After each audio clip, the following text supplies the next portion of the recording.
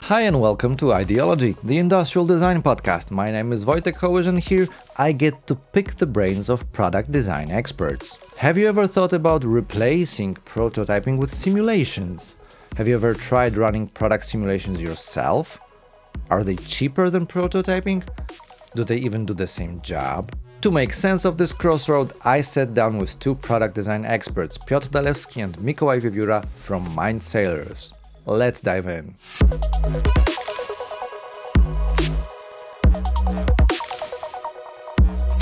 I remember we've had a uh, quite prolonged discussion about the process of designing and the dynamics of of uh, the process of designing. Basically, that's a different podcast episode. But during that conversation, we also talked about prototyping and simulations, which are responsible for quite a lot of the dynamics dur- during designing. But it's an interesting interesting topic itself. So let's just talk about it. So, starting from the basics, uh, let's go with prototyping. Maybe what is a prototyping? a prototyping. What is a prototype, and what is prototyping about? Well, before we start, I would like to say that we need to be aware that many the introductions of new products are great investments for our customers and the main cost of these investments are manufacturing and tooling costs. In order to avoid excessive mm, introduction costs, we need to develop, I would say, flawless products. But as I noticed from my experience, uh, the work of design engineer is full of questions, sometimes hesitations, and to to make our so, our work easier, we prepare prototypes to test our design assumptions. So I guess that's from my perspective. I'm not a designer myself. That sort of sounds something like more or less might be considered a simulation as well, but it's not. Uh, so when do we prototype, and when do we use simulations? Um, I would say you should always do some kind of prototyping or simulations. Um, it depends on the situation. It depends on the it depends on the uh, project that you are working on. Mhm. But um, the rule of thumb should be that with each iteration or with um, each question that you have, um, just before attempting to product uh, to, to to manufacture something, let's prototype it first. Mm, you will be able to answer a lot of questions that already are stated, but sometimes you will have more questions that will be answered mm, during the prototyping testing. Like you have the prototype and you can test it, and you will have more information that you wanted to gain. That's actually sort of a question I wanted to ask. So, uh, a, I assume from the perspective of a client who ordered a design, a prototype might be something different than it is for you as a designer. So, Sure. what what is a prototype for you in your process? Um, a prototype for designer is a physical evidence of um, being right or wrong in some kind of uh, understanding. My wife is the physical evidence that I'm wrong always. I believe there's uh, not a one particular definition of this of a prototype, but I would like to think that this is a physical object, the device or part of the device that allows us to validate some design assumptions or even give us more data about something about the issues we didn't considered the first time. So while assembling the prototype, we can rethink the assembly process. Certainly, certainly, of course. I think that um, prototyping serves um, for for clients. It is usually a visual prototype, like how does this thing look physically? Uh, because on a screen in the presentation when we uh, show beautiful renderings to the client, uh, there is one thing missing in that slides. It's scale factor. Um, we usually tend to um, miss uh, the scale that we see on the screen versus the scale of the physical prototype. You mean like even when a, a visual has some scale to it, like I know there's a mug next to a product or a car next to a product, it's still not the same as witnessing it in real m- physical yes, life. yes. Um, having uh, a visual in context, of course, helps, but still, it's not Yeah. the same as as physical prototype. Mm, so this is the main function of, of a prototype for for clients, usually. Mm, but when we are speaking about so-called functional prototypes, we want them to serve us as a source of crucial information right before we are attempting to DFM or any other uh, process that um, leads this uh, project to manufacturing, because we we want to know not only about the physical properties uh, of of materials of how mm, the assembly goes, if it goes well or wrong, but also how does it feel, for example, to push a button on, on this prototype? Because if you have some tactile buttons on, on it, you have to feel um, with your Yeah. with your fingers or here. or hear how Yeah. does it click. There are um, even designers for acoustics for cars. How does how do the doors shut? Yeah. So this is important um, to prototype the whole product and its uh, and its uh, certain um, features, so that you will have the answer before attempting to manufacturing something. That's, I believe, one of the most important thing in prototyping for designers. Well, you, you, that's something actually you because I I've mentioned before I'm not a designer, so I've always imagined it like that. It's sort of like uh, professional science in a way. First, you have a theory, you theorize about it, you write it down, you do the calculations, but still, you have to test it to see if your theory is right. That's what that's like prototyping for me. You test whether your previous assumptions are provable uh, on the pure basics it's like a proof of concept but the further you go in the process the more concrete those tests sort of uh, uh, become but we also need to disting- distinguish them from simulations so when are prototypes the way to go and where and when not? Uh, sometimes the designer must face face some limits mm, when it comes to technology of mm, prototype manufacturing, and in the design process we are not able to mirror the properties of a finished product mm, with the prototype product, but it is crucial to find the most suitable solution, the golden point between them, to have as exact prototype to test those conditions, conditions of use or environmental issues. Uh, so when the project is too big or the investment to create the prototype is too large, we're, we're using simulations to solve our doubts. Can you give me some examples of uh, what sort of product would make sense to a prototype, and which what sort of product would make more sense to run simulations? We're using simula- simulations when we are looking for some some kind of feature, some kind of physical value, like for example the stress bending moments or or heat transfer or magnetic flux.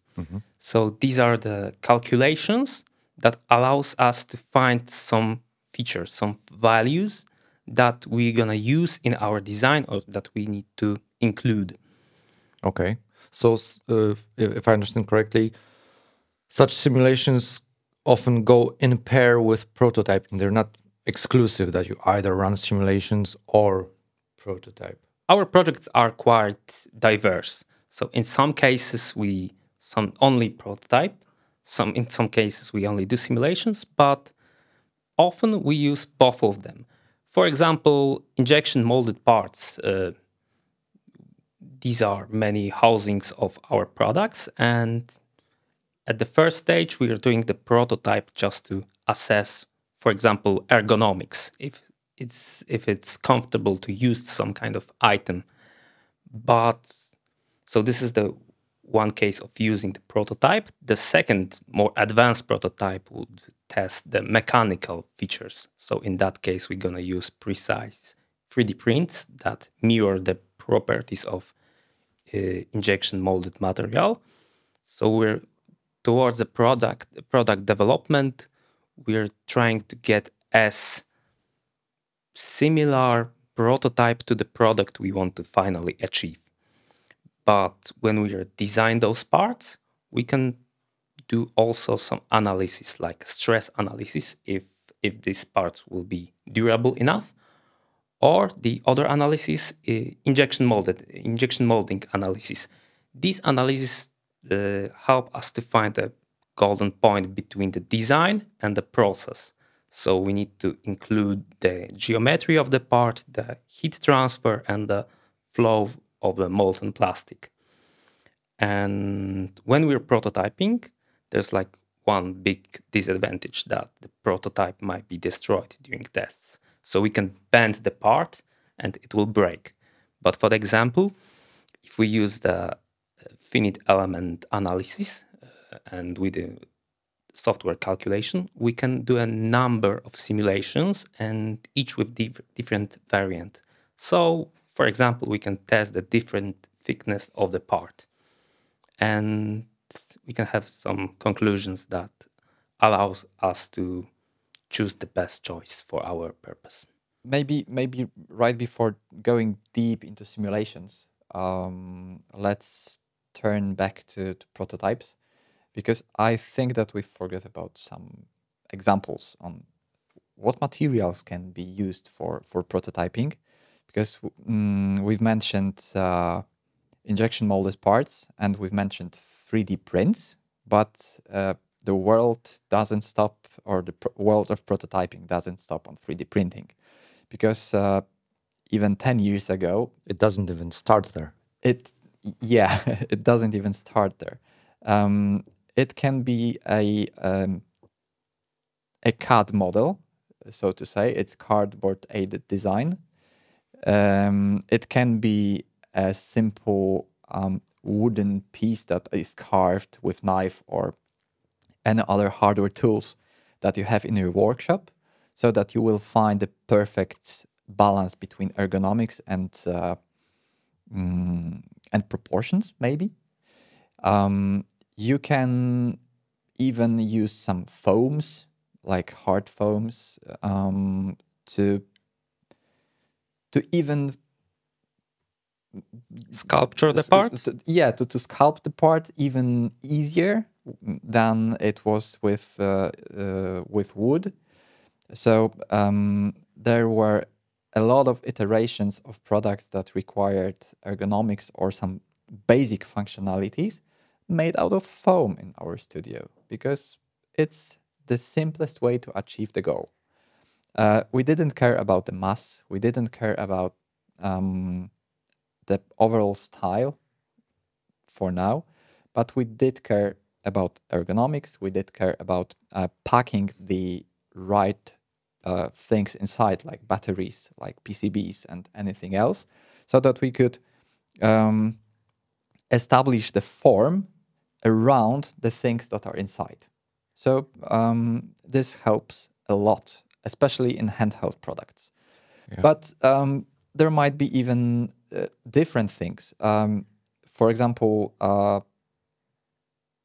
my beloved uh, automotive industry um, is using uh, clay, mm, not because it's uh, cheap, not because it's robust, because it has a lot of processing to do before you get the result. But this is still one of the fastest fastest way to have mm, a mutual understanding between designer and uh, surface designer of what is going to be achieved uh, during the design process because designers in automotive industry are a little bit different than us designers industrial designers. They do care about the style a lot um, but they have their teammates that care about ergonomics. They care about um, regulations.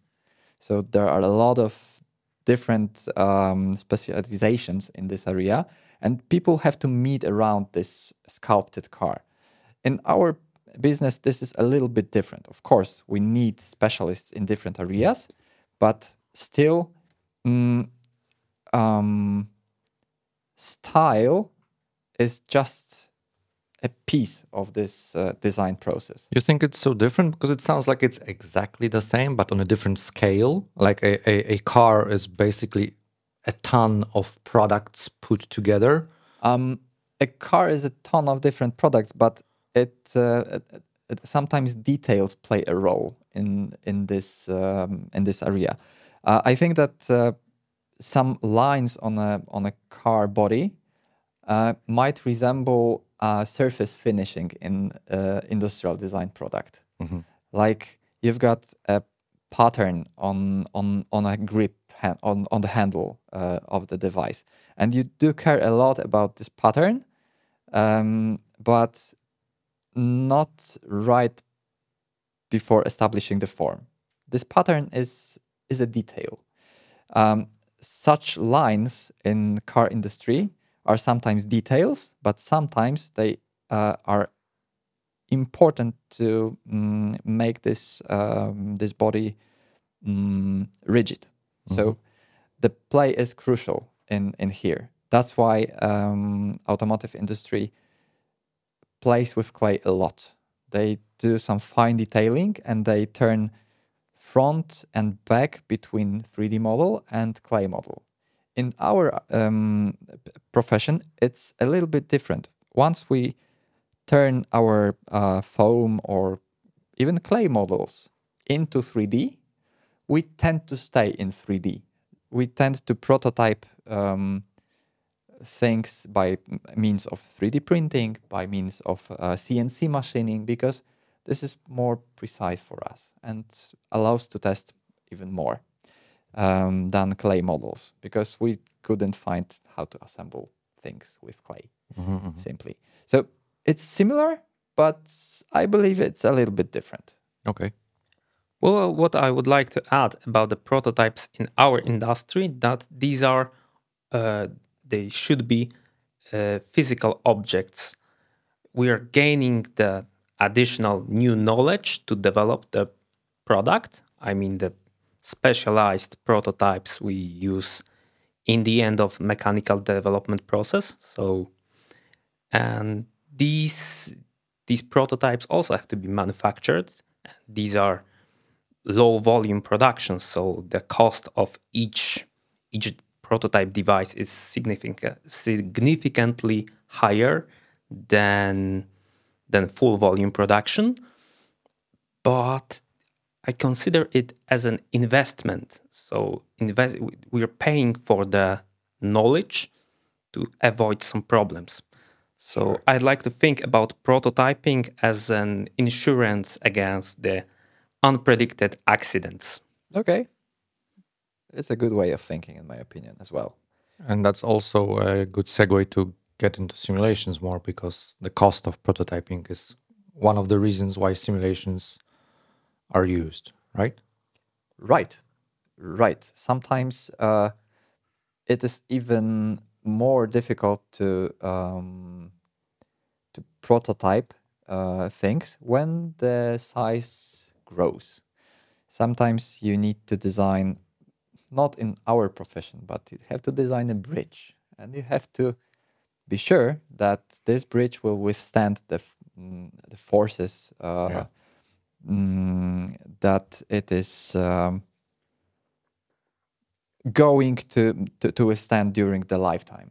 So that's why simulations and calculations are important. Um, we had some projects with simulations um, inside of the project because um, we thought that it will be easier to find the right um, proportions of the frame, for example, um, and uh, the um, particular cross sections of the beams inside the frame, so that once we turn that into turn our project into prototype, we are far more certain that this frame is going to be the right solution. So we could test different aspects of this prototype, not answering the questions if it withstands the um, the force given. Um, this is one of the reasons for doing simulations. Uh, the second reason I came up with is that not only the size is problem, but also testing of a device in some cases might cause very problems. For example, we need testing devices like something, some tensometers to measure the forces, the stress, or deflections. Sure. So in some cases, it's easier to calculate it before we prototype it. Are simulations um, the same as prototypes in the sense that uh, I don't know you guys know how to create prototypes of the, your designs, but can you are you also the right people to run those types of simulations, or is it a different sort of uh, expertise? Of course, it's a different field of expertise. Um, because uh, Piotr mentioned finite elements uh, method. It's one of the way to simulate things, a, a physical world. But finite elements uh, are uh, for measuring forces, um, for measuring um, stresses. So for for particular part of simulations of in the world, there are other like um, light transferring in a light guide.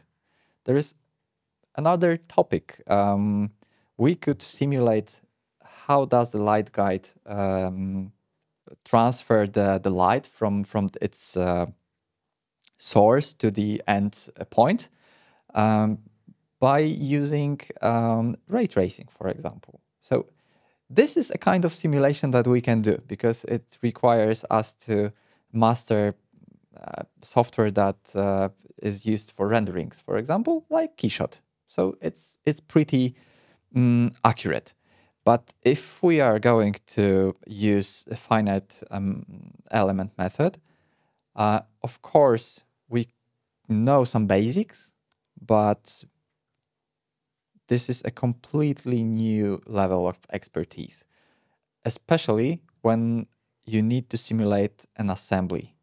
Because a simple beam is pretty easy. You've got no mm, welds, you've got no connection points like with bolts or anything else. But if it comes to uh, to more complex form system, yeah. Mm, you should uh, definitely ask an expert uh, to to simulate to run the simulation. Yeah, in, in simulations, um, there is a thing that what you put, this is what you get. So the the good uh, assumptions at the start will give you the right answers after finishing the simulation. If you uh, run the simulation with uh, bad assumptions or with bad um, prior conditions, you will have some answers because simulation always runs and it's it um, plots some mm -hmm. uh, results, but these results may be unusable. That's why it's important to have an expert to uh, run this simulation and assess the results whether they are correct or not. I'd like to get back to the question of when should we use uh, mm, physical prototypes and when should we simulate or when should we use them both? For this question, I have no exact one answer because everything depends on the pr- uh, project. Sometimes we're able just to calculate, estimate, and we're pretty convinced that it will do. But for some products, we are not able to foresee the whole process. So we're adjusting ourselves. Sometimes it's easier to, to prototype, sometimes we need some extra calculations to validate our work. So basically, during the product development, we are tailoring the process to achieve all the questions we need. What is important that we have to have some kind of strategy for that. So sometimes it's not efficient to buy the golden sample prototypes. They are pretty exact, but it's easier to start with some initial calculations, initial simulations, and then we based our designs on these simulations. So there's like, I'm gonna sorry, I'm sorry to bother you, but I don't have any exact answer for that. Okay. no problem. yeah, but uh, there's one thing that is common for prototyping as well as simulations. Um, this common thing is uh, is an as notion of validation. We have to understand something new or learn something new from each iteration of simulation or prototype. Uh, without this simple idea, any prototype or any simulation is a waste of time and waste of money. Mm, that's why it, it's important to have, as you said, a strategy for prototyping. Um, the strategy usually evolves during the project. It's not possible to predict uh, how prototyping or simulation will look during the um, product development, but we will certainly come to ideas on which parts of the project should be prototyped or which parts might be simulated because it will be more efficient. Um, so the idea of evaluation uh, is to learn something new from from each iteration of the prototype. Um, this gives us more information to develop better product. Um, once we know the answer for our questions and one, once we feel the, the prototype, we know when to uh, adjust our trajectory of, uh, of development because uh, it's uh, no there is no easy way to to answer your previous question there is no easy way to say that we need for example three prototypes to to achieve be the best product. Sometimes three prototypes are enough for for a simple product but there are times or products that needs several hundreds of prototypes. Um, it rarely happens in these uh, in in this world for now, but I'm pretty sure that big companies um, that have um, million or billions of dollars for uh, of budget for for developing new products uh, still do this path like what is the best product or the best solution for the problem stated in our um, company to serve our clients. Mm, smaller companies, startups usually don't have this much time and this much money to to spend a lot of time on um, small iterations. So we try to squeeze um, the iterations to be as little as possible, yet informative and uh, being purposeful. This is something very important in our design life. Um, so you've also mentioned about the golden sample. Um, I think that we could clarify a little bit about about the golden sample because golden sample is something that resembles a product to its fullest. Like it has the same surface finishing, it has the same weight, it has the same, probably the same materials even, so that this serves you as a presentation of your product in a physical world so that you could place it on the table or put it in a room because sometimes it's too big to be placed on the table to say that this is uh, the best um, what we could achieve to show you that this product will finally look like that. Well, it's like a master copy. like a master copy, yes. Um, but this is the end result of a lot of different iterations and sometimes simulations right before you see this golden sample. Um, so we don't think that prototyping is just putting something beautiful on the table and simulations, but it's uh, it's a process of doing something really ugly sometimes, but worth doing before we because we know something more about it. Uh, that's uh, that's uh, my answer to this uh, overall problem on how to prototype or simulate, on when to do things uh, together. Okay, you've, you've mentioned uh, uh, a few times uh, cost and time needed to simulate or prototype. So I imagine uh, it's because uh, what you guys are saying is that it, it makes perfect sense for both simulations and prototyping to be obligatory in each design process. But still, the more you talk about the cost of both those processes, sounds like it's probably not always the case because uh, every business uh, is looking for um, some sort of savings during the, the design process. So, uh, what would you say about the necessity of both those processes uh, in design projects?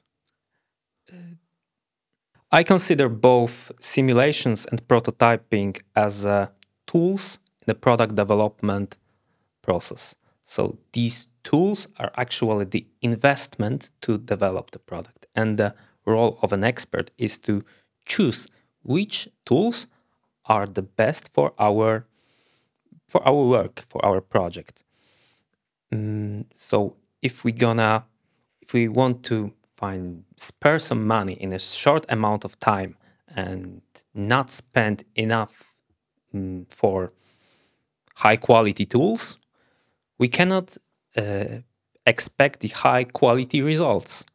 So in short term, it might seem like a saving, but actually we're losing our insurance, our investment, and that might cause very problems or delays or even or even stop the product project. Okay. Yeah. Yes. W- without prototyping, the risk of failing is uh, significantly bigger, um, because you cannot assume in a physical world, especially, that something that you've designed in a CAD system or in a, in any other non-physical way, so to say, that the result will be perfect for the first time. It's it rarely happens, especially when uh, each product is different. If we say that we are manufacturers of glass cups or injection molded cups, when the wall, wall thickness is known for us, it will be probably a little bit easier to predict which design will uh, will go well or will which design will fail. But come on, we are not manufacturing caps all the time.